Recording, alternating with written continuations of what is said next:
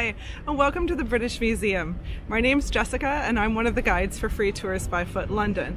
I specialize in the East End and in museums. And today, I'm really excited to be taking you on a highlights tour of the world famous British Museum. Now, this museum is based on the original collection of a man called Sir Hans Sloane, who we're going to meet a little bit later on. It's one of the world's biggest museums with over 8 million different artifacts, and it's one of the most famous. And let's face it, it's also one of the world's most controversial. By the way, if you'd like a video just on the controversies of the British Museum, let me know in the comment section below. But today we're going to explore some of its highlights. Items like the Rosetta Stone, the Egyptian mummies, the Lewis Chessmen, the Sutton Hoo, Hoa and so much more. The British Museum is free, it's open to the public, and it's a brilliant place to visit the next time you're in London. I guide public tours of it and also private tours. Let me know if you have any specific questions in the comments below, and I'll try to answer them on future videos. All right, it's certainly time to get out of this rain.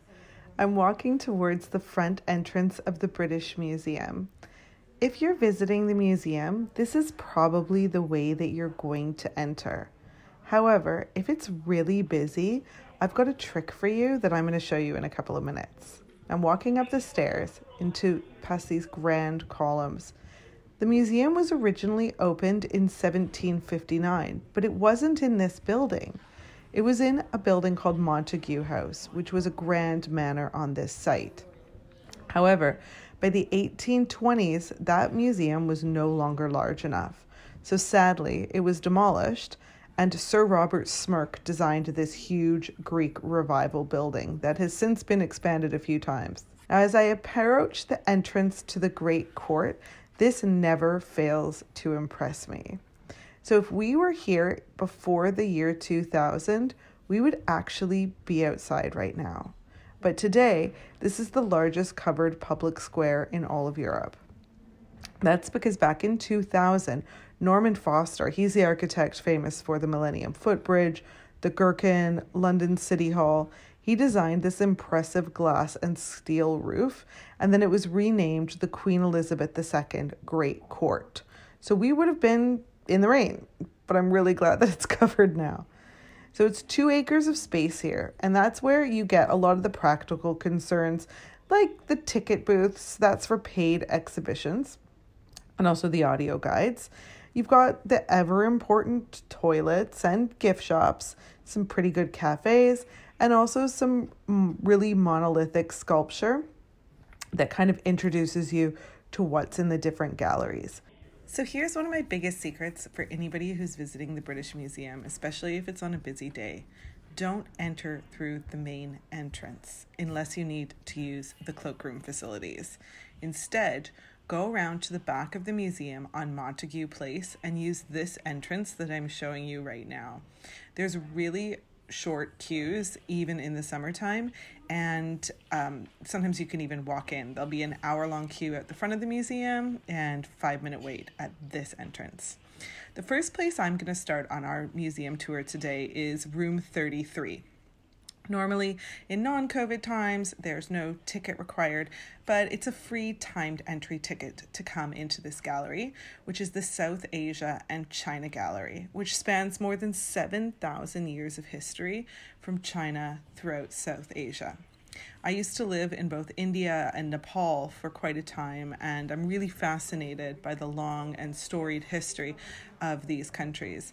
I'm not going to go into the Chinese side of Room 33 today, but if you'd be interested in learning more about this, let me know. I can do an entire video on it.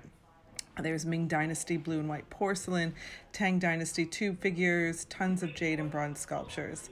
But today we're going to walk through the South Asian side, featuring the rich and diverse cultures of Nepal, Pakistan, India, Bangladesh, and Sri Lanka. I just passed by the Dancing Nataraja from around 1100, and I'm just coming up on my left hand side to a Hindu temple figure of the goddess Kali. You can see around her neck, she's wearing the severed heads of her victims. But we're here instead to see one statue in particular. we're here to see Tara. At the back end of this gallery, you can see her shining like a golden beacon. This remarkable statue is considered one of the top 10 things to visit in the British Museum for good reason. It's an 8th century statue, and it was taken from Sri Lanka, then called Ceylon, by Sir Robert Brownrigg. He was the Lieutenant General of Ceylon when the British took the mountain kingdom of Kandy in the north of the country. Today, we call this country Sri Lanka. It's the teardrop shaped island nation located at the southern tip of India.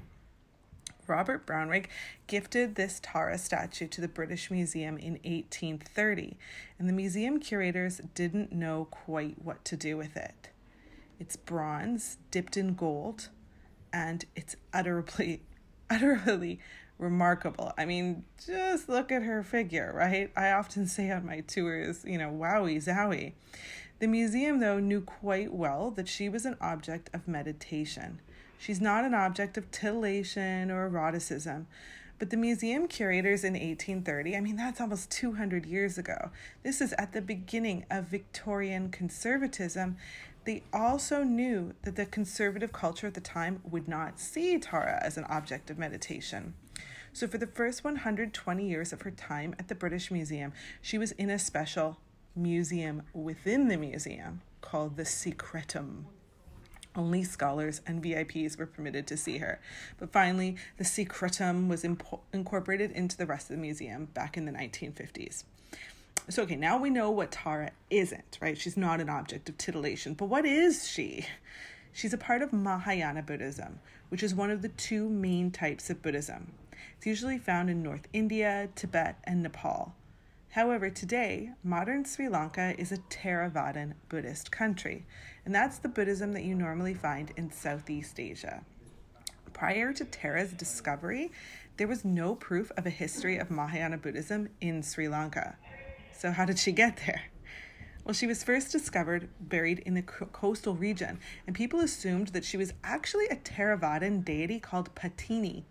But experts now agree that she's Tara, and she's the aspect of a male counterpart called Avalokiteshvara. There likely would have been a pair of statues like this one on either side of an altar. And that's proof of a medieval Mahayana tradition in Sri Lanka dating to around the 7th or 8th century.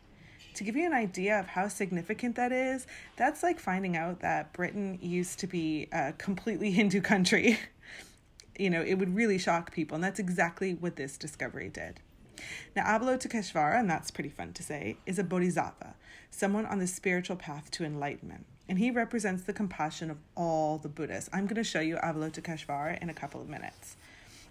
Now, if you magnify his compassion by a thousand, Tara represents his compassion. We're supposed to gaze upon her and meditate upon our own compassion.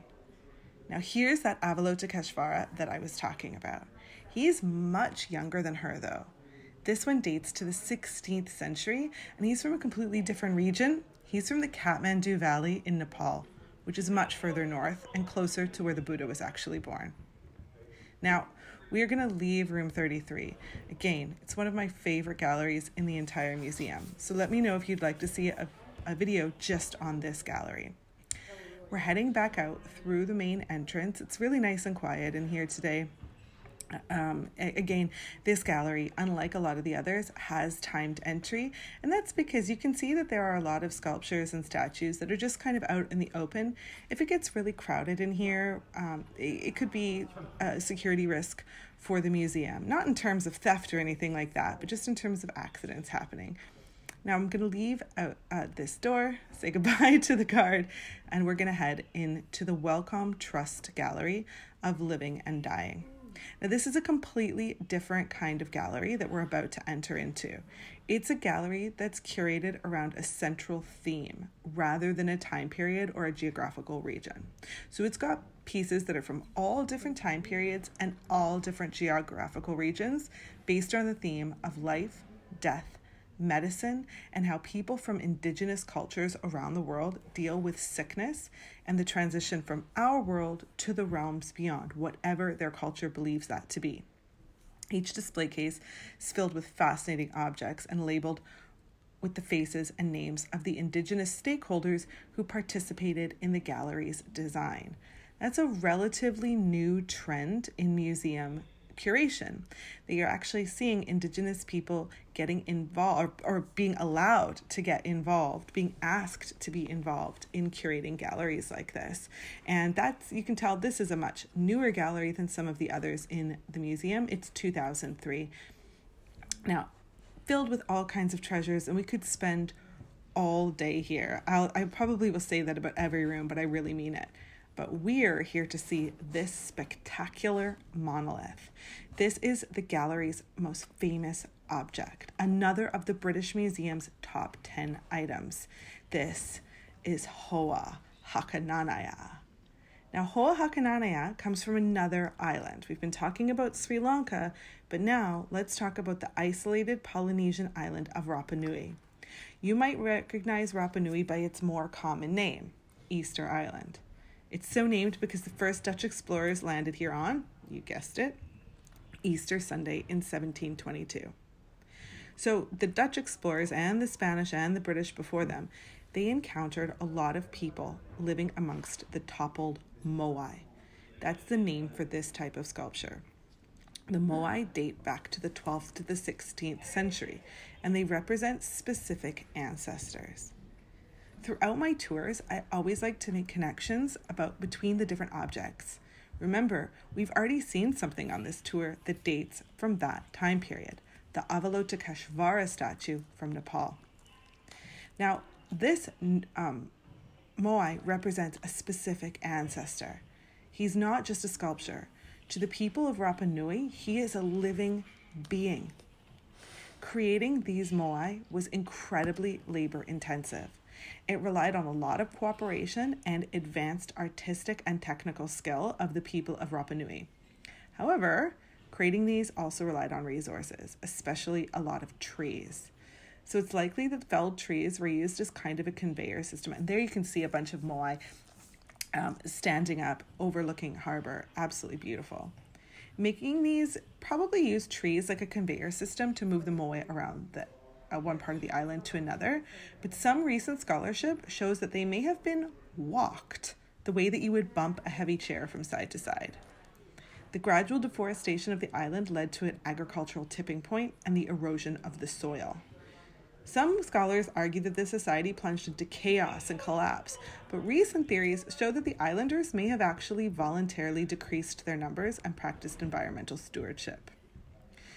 So Hoa Hakananai'a has actually been used twice for two different religions. By the time that Europeans arrived, he'd been repurposed for the Birdman religion, which worshipped a god called Makemake. Now you can see the change in the carvings. We were just looking at the back of Hoa Hakananai'a, which is shallow relief. It's not very deep. But the front is deep relief. That's evocative and complex carvings. It requires a lot of organization and a lot of food to keep people happy and motivated and in good strength. On the back, though, you can see there's little shallow carvings, including, look up at the top right corner, a little picture of Hoa Hakananai'a himself. This is made by a less thriving society. When the HMS Topaz arrived in 1868, Hoa Hakananai'a was in a ceremonial house. But British sailors dragged him down the beach, and locals were crying and begging running after it. As a result, this is one of the most heavily contested objects in the museum. And as that information panel I just zoomed in on detailed, the British Museum is currently in talks with Rapa Nui delegates for a resolution. The delegates visited Hoa Hakananai'a in 2018 and they brought soil from Rapa Nui. You can see it in front, that woman's looking at the soil. And that's an offering to their ancestor. It remains seen what's going to happen to this iconic sculpture in the future, but in the meantime, he's absolutely marvelous. And if you'd like to come and see him in person, he's on my tour, obviously, but he's also well worth your time, even if you pop by just for a couple of minutes on your way to or from another London attraction. If there's no queue, why not? Hop into the British Museum for a coffee and just look at one or two things. It's a great way to explore the museum. Again, just zooming in on that view of Rapa Nui, a dream of mine to go visit there and some of the offerings that the delegation brought back in 2018.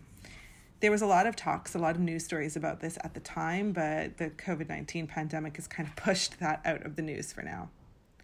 We're going to head downstairs to the Africa galleries. So, again, I promised you I would say this about every room, and I'm, I'm serious. We could spend all day in the Africa gallery. I'm just walking down the stairs uh, they're divided into East and West Africa, mostly focusing on the sub Saharan regions of Africa, since many of the northern African antiquities are in other parts of this building, like the Egypt galleries that we're going to visit a little bit later on. Uh, you can see there's some artworks in the stairwell, and I'm going to walk past uh, a couple of glass doors in a moment. You might see a name that you recognize uh, Sainsbury's. Yes, the massive supermarket giants. Of course, you know, for tax breaks and also for goodwill from the public, a lot of very important corporations and families around the world donate heavily to museums um, in order to kind of reap those cultural benefits. And the Sainsbury galleries are East and West Africa. Uh, we're going to head towards the West African side, but that doesn't mean that there's not just as much that we could talk about on the East African side as well. In a couple of moments, I'm going to start walking into West Africa here, and you're going to see some really amazing stuff. Uh, to catch your eye first, probably these massive carnival marionettes. They represent stilt walkers called mokojambis. These are the first major contemporary works by a Caribbean artist in the British Museum. They're created by a UK Trinidadian artist called Zak Ové in 2015 to honor the Notting Hill Carnival. And you can see, I like to tease my guests, especially school kids, that these are really old. But then, of course, I zoom in there on the Nike shoes that the Mokojambis are wearing. Um, some stunning uh, masks from different West African cultures. It's important to remember that West Africa is not a monolith. There are uh, hundreds, if not more, different cultures and um, unique histories and unique works of art. But we're here to see something in specific. We're here to see the Ife head. So, the Ife head is one of 18 heads that were excavated in Ife, Nigeria in 1938. There he is, by a team led by German archaeologist Leo Frobenius. This was the former royal center of the Yoruba people, a place of rich culture from then to today, much earlier to today. Just look at the peaceful, beatific expression on his face. This man is serene, yet he's powerful. He's viewing us slightly from above.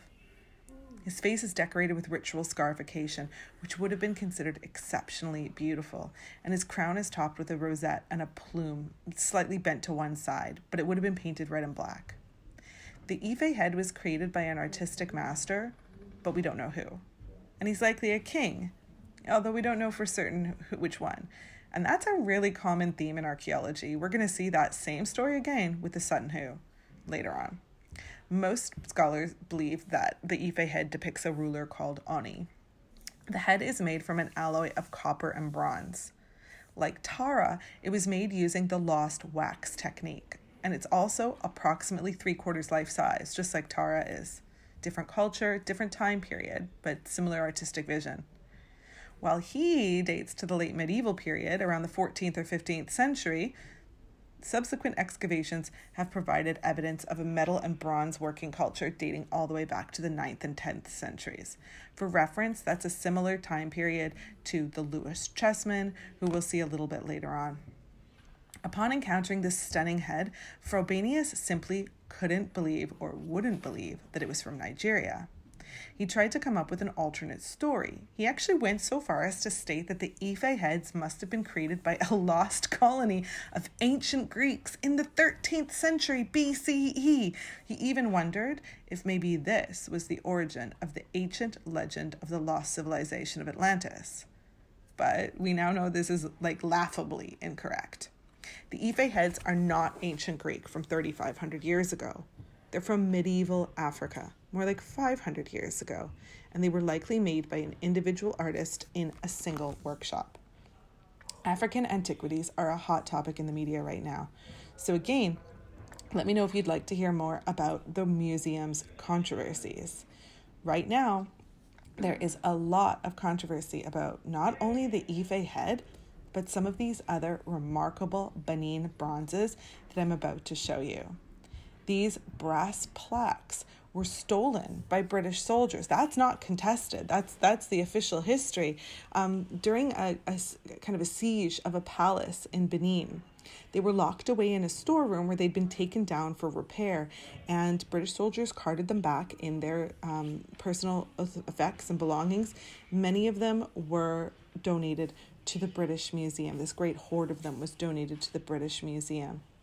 These date to a similar time period of the Ife head, and they are absolutely beautiful as pieces of art, but also as important historical records of this culture.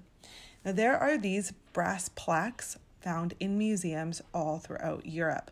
But you may have read in the newspaper recently that a major German museum just agreed to give a lot of them back, and um, the Pitt Rivers Museum in Oxford has also agreed to give back some Benin bronzes as well. So the British Museum is facing some pressure. It just took the lift up to back to the Great Court. All right, I'm back in the Great Court, and this time I'm here to see some Coast Salish house poles, sometimes called story poles, or you might have heard of them as totem poles. They're usually a symbol of indigenous people for all around North America. You'll see them in gift shops, but poles like these are only actually carved by a small group of different First Nations on the north coast of the continent. Places like Vancouver Island, Washington, the Haida Gwaii Islands, mainland British Columbia, and Alaska. And if you've been trying to place my accent, I'm from Vancouver as well, from the same place as these poles, but not from the same culture. Because one of these poles, this one here, is from the Nisga'a culture, while the other that I'm heading towards now is from the Haida people of Haida Gwaii, which used to be called the Queen Charlotte Islands. By the way, it's a UNESCO World Heritage Site, and it's really a truly amazing place to visit. They're carved from cedar wood, which naturally repels insects and water. But after around 100 years of being erected, they would naturally fall down and then they'd be allowed to decay back into the earth, and that would feed the next generation of totem poles. They're carved to mark significant occasions such as anniversaries, but carving totem poles was actually illegal in Canada from the mid 19th century through to 1951 because Christian missionaries and government forces saw them as barriers to First Nations assimilation. It was a lost, uh, nearly a lost art that's been reclaimed. When European explorers arrived to these coastal regions, they often looked at poles that they saw laying on the ground and they assumed they were unwanted. So they also bartered and bought some of the poles, which is the case of the Haida pole here, purchased in 1903 by Charles Newcombe from Chief Waiya. Totem poles often depict animals and supernatural creatures, and family crests and detailed stories. This pole tells the story of a life giving raven spirit called Yetel, who could also swim beneath the sea and steal hooks and fish from rods. The villagers decided to change their hooks and bait them with devilfish, and one caught Yetel, pulling his beak right off his face. He was angry and hungry, and so he took on human shape and was then accepted into the village. But he spoke gibberish, and he only would ever show the top half of his face to hide his disfigured mouth, and he used a charm to win his beak back. However, he was impressed with the village and returned as a chief, and you can see that at the top of this pole. That's Yetel as the chief eating with the villagers. Today, there are totem poles in museums all over the world, and some of them have been acquired ethically and others have been taken without. Here's another hidden treasure of the British Museum, and no, it's not an object, it's the view itself of the Queen Elizabeth II Great Court. You can see, designed by Norman Foster, as we mentioned earlier. It's really hard to get a picture of this that represents the scale and grandeur from the main floor. However, when you come up to this little secret balcony, then you can find this absolutely fantastic place for selfies and photos. However, I'm about to head into room 40, which is medieval Europe. This is my personal favorite gallery in the entire museum. It's home to some of the world's most fascinating medieval treasures from Europe, Britain, the Byzantine Empire, and I find it really fascinating to see these archaic objects that are many of which are connected to the church from our not too distant past and think about how they shaped our current uh, reality. Wait a second. I'm I'm a Canadian, but I've clearly been in the UK for too long because I'm now referring to the medieval period as our not too distant past. anyway, many of these objects are connected to the church, but there's one in particular that's notable for its secular nature. And that's what we've entered this room to see. this heading I'm heading towards the case right now to go and look at the Lewis Chessmen. Now, it's always a bit of a challenge to look at the Lewis Chessmen because there's always a ton of people gathered around them. These are some of the most famous objects in the museum. They, these curious little pieces were discovered in a church on the Isle of Lewis in the Outer Hebrides in 1831, but they are much, much older. They date to the 12th century or maybe even earlier. Most of the pieces are made from walrus ivory, but a few are carved from whale teeth. When found, the hoard contained 93 items in total. That was 78 chess pieces, 14 tablemen, and one belt buckle. 82 pieces are here at the British Museum, and 11 are at the National Museum of Scotland in Edinburgh. They were likely brought to the really bustling Isle of Lewis then from Norway by a merchant and then buried for safekeeping. There's pieces from four separate sets in the hoard, but most of the pawns are missing. Recently, a warder, which is the equivalent of a castle or a rook, was found in an old antiques collection, and it sold for a massive £735,000 in July 2019. I mean, multiply that by 93, and you get an idea of the immense value of this collection. Let's have a closer look at the fine detail and care that's gone into making these pieces. So just look at the carvings on the back of the king and the queen's chairs. So some of them are pieces that we recognize today, with the addition of the warders and also some very peculiar chaps that I'm going to zoom in on and show you in a minute the berserkers. Berserkers are fighting knights that bite the edge of their shield to show them show us the audience how mad they are with rage. So, berserk is one of the few Icelandic words that we've borrowed in English, and we still use it today to refer to somebody who's gone on a, a rampage, somebody who's gone absolutely berserk. Is somebody who's a bit mad, and it kind of has a negative connotation. There you can see him. See what I mean about how he's biting the edge of his shield, and that's to bare his teeth and show us just how ready he is for a battle. The queen looks quite introverted. She almost looks miserable. Um, she's meant to be deep in thought so that she can give wise counsel to the king. Today, the queen is the most powerful piece on the board, but back in medieval times, the piece actually had very little power and could only move one square at a time. By the way, uh, if these pieces look familiar, you might recognize them from Harry Potter and the Philosopher's Stone. So you often get a lot of kids in here who are really excited to have a look at the Harry Potter chess set, the Harry Potter chess set. You can buy reproductions of the Lewis Chessmen in the gift shop. You can buy them all throughout Scotland. They're really, really famous pieces. Um, we're not sure exactly where they came from, but the most common theory is that they came from Norway, as I mentioned, but they could have also come from Iceland. Now, here is another amazing piece that helps us step back to an even earlier Europe, to the centuries of 8300 to 1100 in this room, room 41. That time period used to be called the Dark Ages, but we now know that there was an immense amount of craftsmanship and global trade going on during this period. We're here to see the Anglo Saxon ship burial at Sutton Hoo in Suffolk. If you want to learn about this, which is one of the most important archaeological discoveries in British history, I really recommend the movie Dig, which is on Netflix. It's on Netflix here in the UK. I think it's on Netflix worldwide, starring Carey Mulligan uh, as a woman called Ms. Edith Pretty. So we have to step back in time to 1939. Edith Pretty decided to have one of the mounds on her property excavated. She herself had taken part in archaeological digs in her younger years, but she was in poor physical health, and she hired amateur archaeologist Basil Brown to do the dig. He would soon find massive ship's rivets, which would lead him to the most intact early medieval grave in Europe a 27 meter ship. That's nearly 90 feet fully loaded with rich treasures buried beneath the earth. The ship contained unimaginable riches, including a solid gold belt buckle, silverware from Byzantium, garnets from Sri Lanka, there's Sri Lanka again, huge feasting bowls, sumptuous textiles, dazzling swords, and, as I zoomed in on at the beginning of this uh, room, a helmet with a human mask. These have since been dated to around 600 AD. Look at this solid gold belt buckle that I mentioned a couple of seconds ago. When Basil Brown pulled this from the earth, it was just as dazzling as it is today because gold doesn't tarnish. We believe this dates to 600 AD, which is around the time of the Anglo Saxon period, chronicled in the epic poem Beowulf. This mighty ship would have had to been dragged uphill from the river Deben and then buried in a deep trench mounded with soil. Clearly, this grave belonged to somebody important, but we don't know exactly who. That reminds me of the Ife head. But like the Ife head, we have a reasonable guess.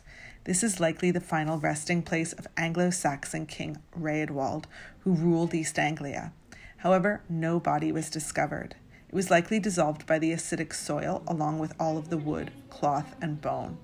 Now, I could speak about each item in this exhibit in great depth, so please let me know if you'd like a video just about the Sutton Hoo. But for this video today, I'm going to focus mostly on its most iconic object, the mind blowing helmet. So let's examine it in more detail. It's not only beautiful, but it's really functional. It's got cheek piece, deep cheek pieces and a vaulted cap. It's covered with imagery and symbolism, including fighting warriors and mythical creatures. But look at the eyebrows. The end of each is a wild boar, and there's a dragon head here at the intersection of the eyebrows. The entire shape of the mustache, nose, and brows make a flying dragon. Now, this one is a recreation. The original was found smashed into hundreds of little bits. The eyebrows are lined with garnets from Sri Lanka, but only one of the garnets is backed with gold foil. Sorry, only one of the eyebrows is backed with gold foil reflectors. So if you looked at it in the light of a flickering fire in the Anglo Saxon longhouse, you might feel like you were in the presence of the one eyed god of Woden. I just want to stop here quickly in room 56, which is home to some objects from Mesopotamia that span 4,500 years between 6000 BC and 1500 BCE. We're going to see another important Mesopotamian object at the very end of our tour that connects to something in this case here. So think of this as a little preview. The Royal Game of Ur is one of the oldest board games in the world, originating around 4,600 years ago. We know the rules because a Babylonian astronomer wrote them on cuneiform in 177 BC, and we've been able to decipher the rules from this. Two players would race from one end to the other, and the central squares were used for fortune telling. Now, this stand, Royal Game of Ur, uh, you can come to visit it in room 56, but I just wanted to stop here quickly because we're on our way to the Egyptian galleries. Now we're heading into the most famous galleries in the entire British Museum the Egyptian galleries that explore death, funerary customs, and the afterlife. The afterlife held a deep, important meaning for ancient Egyptians. After all, most of what we think about when we think of ancient Egypt is ritual and mummification, and of course, pyramids.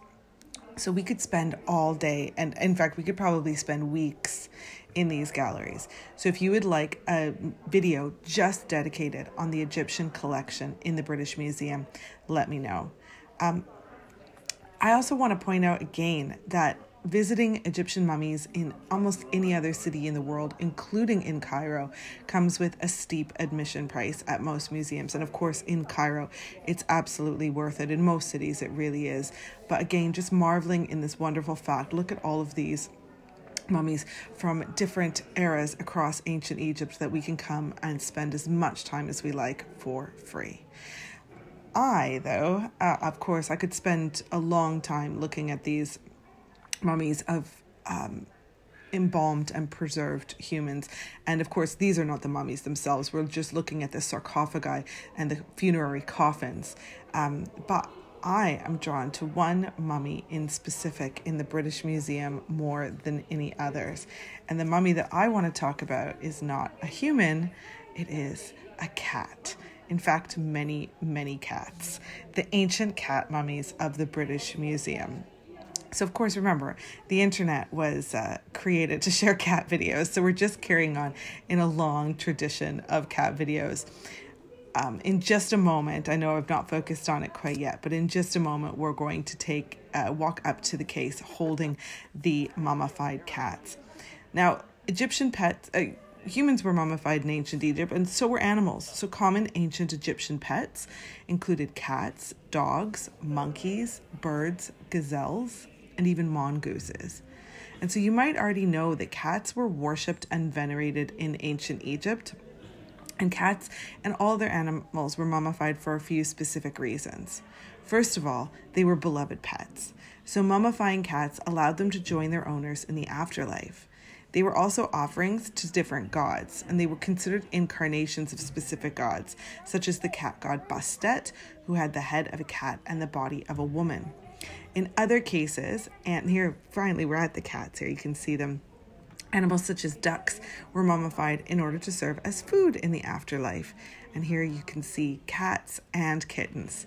Um, so important humans had been mummified for 5,000 years before it became common to mummify cats and other animals. So this cat mummy in specific, the one, the largest one in the case, dates to around the year 30 BC. And around that time, Egypt became a province of the Roman Empire. For reference, that's only about 107 years after the Rosetta Stone that we're going to go see. While animal offerings had previously been bronze statues, mummifying actual animals gradually became cheaper than making bronze, and therefore they became more common. So, during this time period that we're talking about, animal mummies were straight up mass produced, and we have literal millions of them in cemeteries dedicated to animal mummies in Egypt. The most famous is near the pyramids in Saqqara. In fact, so many cat mummies were excavated in Middle Egypt in the late 19th century that they were shipped to Liverpool to be crushed up and used as fertilizer in the fields. Think about that. When you are in Liverpool, if you go visit Liverpool, you could be walking across fields filled with fertilizer made from ancient Egyptian cat mummies. That's one of those things that sounds like an urban legend, but I promise you it's true. According to, according to common belief, some animals contained a ba, which was a part of the soul that could act as a liaison between this world and the spiritual world. So think of these kitties as spiritual messengers. Before they were mummified, the cat's body would have been dried and filled with a dry material like sand, and then they were arranged in a lifelike way and wrapped in linen. Just remember, cats were not the only animal mummies here at the British Museum. There's also a baboon, crocodiles, dogs, and many others. By the way, did you know that in the 17th and 18th century and earlier, people in Europe used to eat the human mummies by crushing them up and putting them in tinctures and medicines? Again, that's another one of those things that sounds like an urban legend, but I promise, or a myth, not even an urban legend, but I promise you that is true. And if you want to know more about these weird oddities of the British Museum, please let me know in the comments, and I will make a video just on the strangest things in this wonderful, wonderful building. So I'm just entering room 70. The objects in this room illustrate the rise of Rome from a small town to an imperial capital that controlled the Mediterranean basin and northwestern Europe and the Near East, extending from Scotland to Syria. This exhibition covers a period of about a thousand years from Rome's legendary foundation in 753 BC to AD 324, when the Emperor Constantine founded his new Christian capital at Constantinople.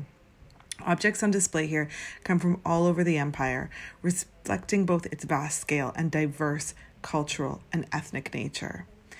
But I want to stop and talk here about the Portland vase, not only because it's decorated with intricate cuttings and detailed scenes, but because it's influenced modern design in countless ways. This is one of the most requested objects in the British Museum gift shop, actually. The stunning Roman vase is about 2,000 years old. It's made from luminous violet blue glass that you can see reflecting, and it's decorated with a single continuous white glass cameo. It depicts two different scenes, including seven human figures, a snake, and two bearded and horned heads between below the handles. It's very pretty. I think we can agree on that. But why is it so important? Well, let's start by saying that this was meticulously copied by pottery giant Josiah Wedgwood. You probably recognize that name, Wedgwood pottery. He devoted years of his life to try to duplicate this ancient technique, but even he had to admit that he couldn't do it in glass. He had to use jasperware, which is a type of matte stone. That's so fascinating to me that the ancients were able to do things that we couldn't do in 1790. So now today you can buy replicas of the Portland vase all over the world. And actually, one of Wedgwood's actual replicas is on display at the Victoria and Albert Museum, another amazing place. Please let me know if you'd like me to do a tour of the V&A. It's another wonderful museum. For me, the most in- interesting fact about this vase, though, is that it was completely shattered by a drunk who threw it onto another case. He was arrested, but the museum was changed forever. Or sorry, the vase was changed forever. And the museum as well, of course. More um, security was put into place because of instances like this. So a British museum restorer painstakingly pieced it back together, but he couldn't account for 37 small fragments. But it looked good. So they chucked the remaining pieces in a box, and it was only discovered in eight, 1948, 100 years later. It was dismantled and restored again, but this time they could only add three of the 37 pieces. So, again, in the 1980s, the adhesive was starting to look yellow, so conservators took it apart yet again. They fixed some shoddy repair work and they were able to integrate all but three of the teensy tiny pieces. So, if you break something valuable in your own house, don't feel so bad because at least you didn't drunkenly smash the Portland vase, one of the most famous pieces of, of pottery in the world uh, glassware in the world, rather. Uh, now, uh, just leaving room 70, and I am going to um, continue walking through these galleries as I head back downstairs to the main floor of the British Museum.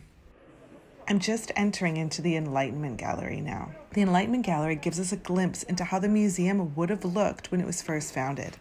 In the 18th century, wealthy, learned men rushed to collect treasures and replicas of treasures from all over the world.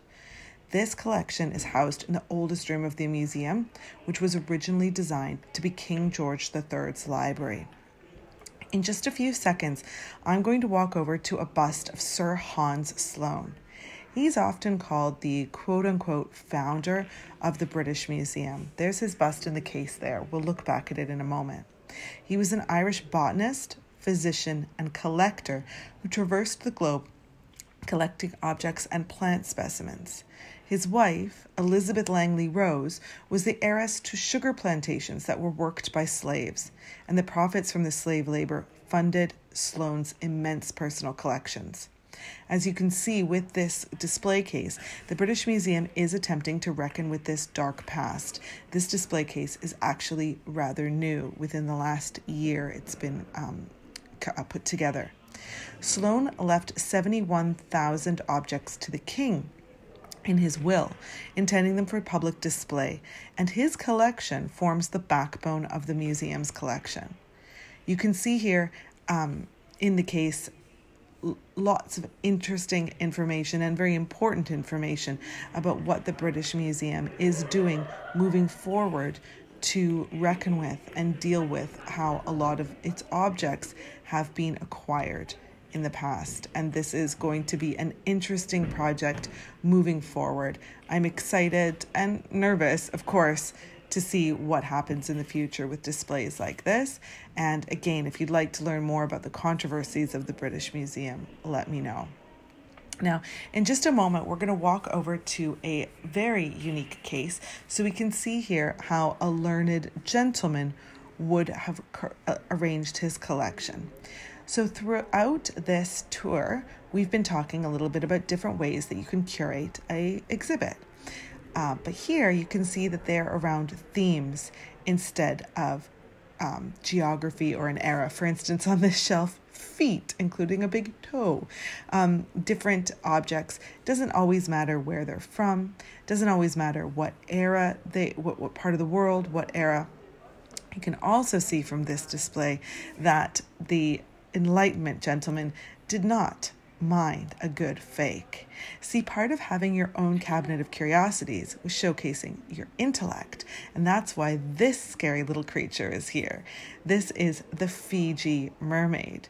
So, Sloane and his contemporaries weren't always concerned about the authenticity of their collected objects, but sometimes they just wanted something that was a conversation point or something to talk about, and the Fiji mermaid is one of those. It was a different Fiji mermaid was originally created by P.T. Barnum, the great circus ringleader. He actually started his career working in museums. It's true. And one of his favorite objects in his museums was a Fiji mermaid similar to this one. So that's a gaff. It's a fake oddity that's created by sewing two animals together. In this case, and in most Fiji mermaid cases, it's a fishtail with a body made from wood, wire, and monkey parts. This particular Fiji mermaid dates to 18th century Japan and it's been in the museum's collection since 1942. Let me know if you want a video about the strangest artifacts in the British Museum. There are some really weird things here. Let's walk a few steps to the Rosetta Stone. All right, here it is. The number one, the most authentic, the most famous. Oh, wait a second. Okay, you can probably tell by my touchy feely fingers here that this is not the original. We are going to see the original next. This one is a replica, and visitors are encouraged to touch it. I'm not being a horrible museum's guest. I used to be a, a museum curator's assistant. So I would never touch an object that I wasn't expressly invited to do so. Um, the Rosetta Stone itself, the real one, we're going to see it in a few minutes, but the reason I've chosen to talk to you here about this one will make a lot of sense in a few minutes because the real one is absolutely thronged by people. This is a great place to talk about why we are so fascinated by a broken slab of stone. So, first, let me just tell you how it was discovered before I tell you what it is. In 1799, some of Napoleon's men discovered the slab being used to hold up the wall of a fort in the village of El Rashid, which was known to the French as Rosetta. They were shocked to see three languages on the tablet, each seeming to say the same three things. Here I'm pointing to encircled um, words called cartouche. Trust me when I say that folks in the Enlightenment period were very, very keen to learn about what Rosetta Stone and other Egyptian objects said. Egypt mania was sweeping across Europe, and the public was fascinated by all of the objects that the British and the French were bringing home in their battles. They wanted to understand what all of the temples and sarcophagi said. The French who, who found this object never actually had a chance to decipher it. The British acquired the stone in the Treaty of Alexandria and they whisked it to London. That's when the race to translate it started. British scientist Thomas Young had some early success, but it would be the French scholar Jean Francois Champollion who had the first major breakthrough. He realized that the hieroglyphs, the name of the of the Egyptian language here, was both part pictorial and phonetic. That means they give clues about pronunciation. He translated the cartouche. That's the French word for bullet. It's, that's what I'm pointing to here. It's named for the shape of the proper nouns. You can make out the name Ptolemy. But what does it actually say? So the story starts with Alexander the Great, king of the ancient Egyptian kingdom, sorry, ancient Greek kingdom of Macedon. He expanded his empire for thousands of miles, including into Egypt, where the stone is from. His empire got too big, and after he died, it was divided into various kingdoms. The kingdom where this is from is roughly where modern Egypt is today. So after Alexander the Great, this kingdom was ruled by Ptolemy the first, and after Ptolemy the first came Ptolemy the second, and then so on and so forth. Of course, Ptolemy the fifth eventually, around 2200 years ago. Ptolemy the fifth was a boy king, trying, uh, taking the throne at only age five. His kingdom was therefore ruled by a council, and there were a lot of people trying to overthrow him. The writing on the stone is a decree about the king that was then uh, about a decree about the king.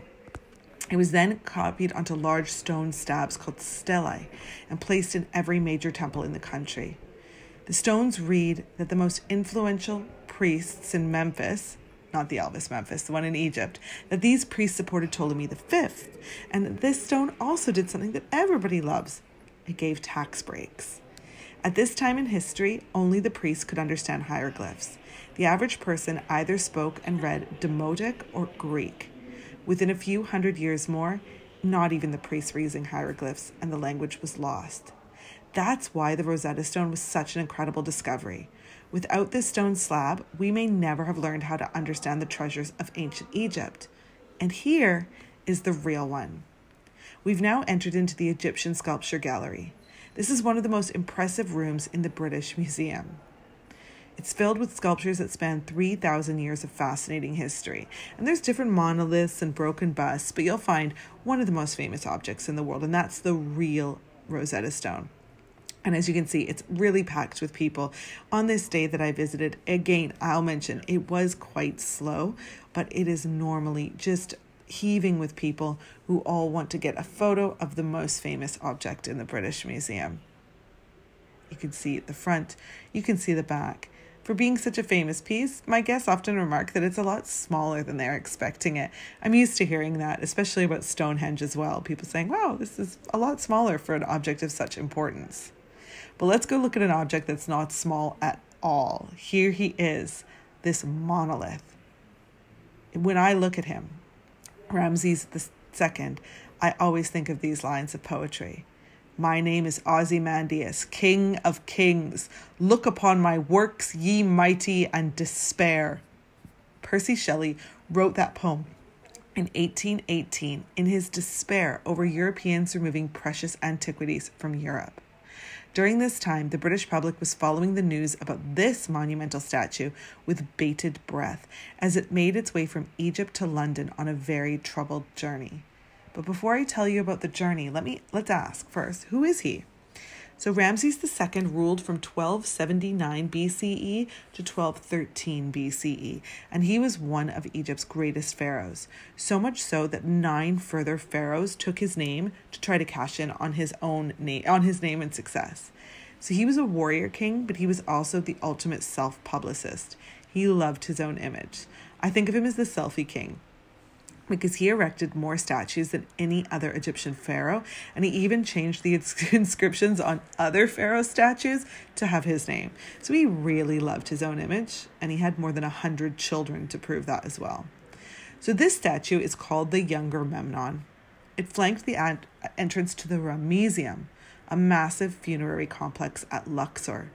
When Napoleon's men tried to move it in 1798, they only succeeded in damaging it badly because it weighs seven tons. So there's a hole above his right nipple that was made during this attempt as Napoleon's men attempted to hoist the bust with poles. The French troops abandoned the statue and it sat dejected and abandoned. That is, until the British Consul General Henry Salt decided he was going to, and there you can see the hole I was mentioning. He decided he was going to be the one to bring it to the UK. He hired a true character.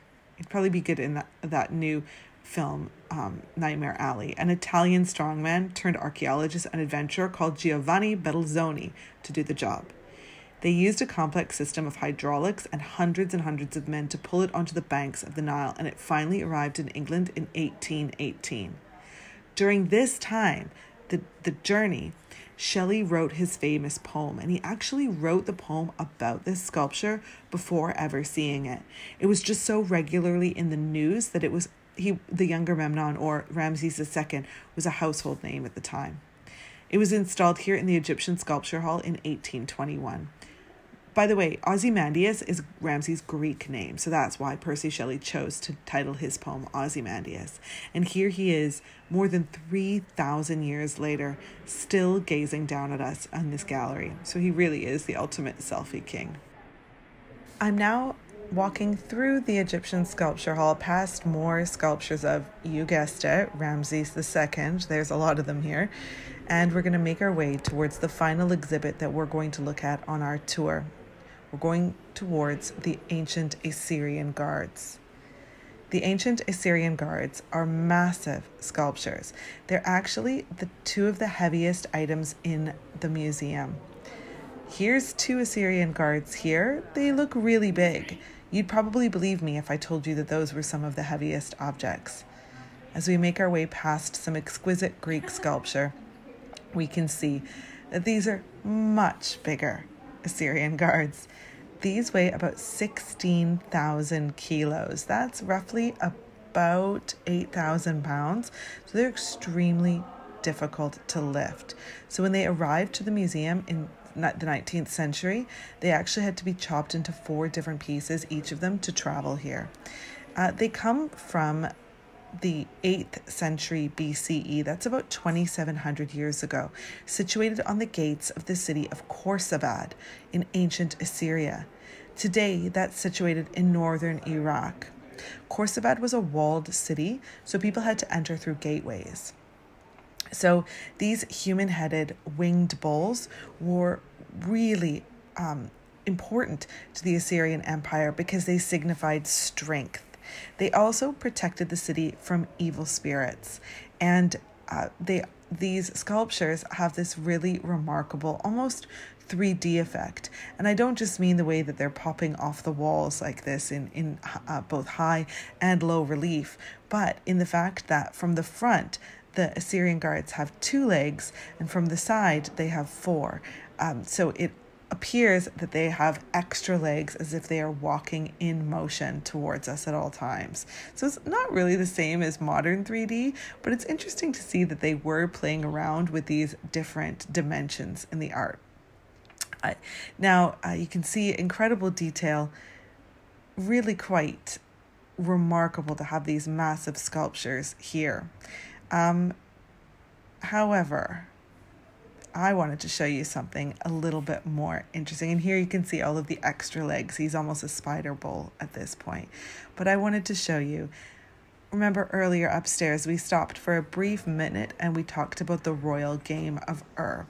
So, a few years ago, when some museum conservators were cleaning this sculpture, they actually discovered these indents in the um, stone and cleaning it a little bit more, cleaning it a little bit more, they uncovered millennia of dirt and grime crusted onto it and realized that scratched into the surface, just like maybe you or I might scratch a tic tac toe game into the sand, there was a board game of the royal standard of the royal game of Ur or the game of 20 squares.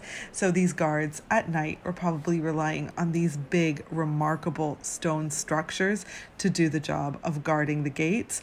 And then when they were feeling like, mm, we can take a breather, they would go play their game, which I think is fascinating because it shows that human nature 2,700 years ago, 100 years ago, seven years ago, today, and probably 2,700 years in the future, we're all pretty much the same. Now, as we head out back past these um, phenomenal Greek sculptures, I wanted to take this time to say thank you so much for coming on my tour.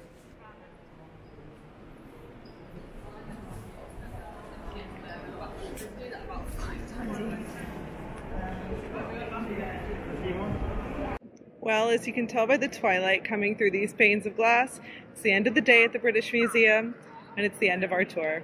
I really hope that you've enjoyed seeing all of the highlights of the British Museum as much as I've enjoyed showing them to you. And if you'd like to leave me a tip or you want to buy me a coffee, you can do so at the links below. Please remember to leave your questions in the comment section below. I'm always happy to answer them. And let me know if you'd like to see other tours of the British Museum or other museums in London in general. So it's bye for now, and I hope to see you on tour the next time you're in London. Thanks. Bye.